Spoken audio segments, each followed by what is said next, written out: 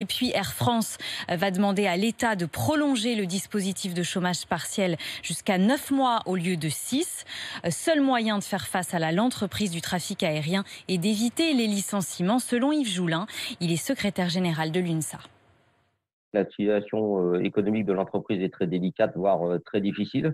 Euh, le but pour nous, c'est de maintenir le maximum d'emplois dans Air France et on espère qu'il n'y aura pas de crise plus grave qui va arriver d'ici la fin de l'année.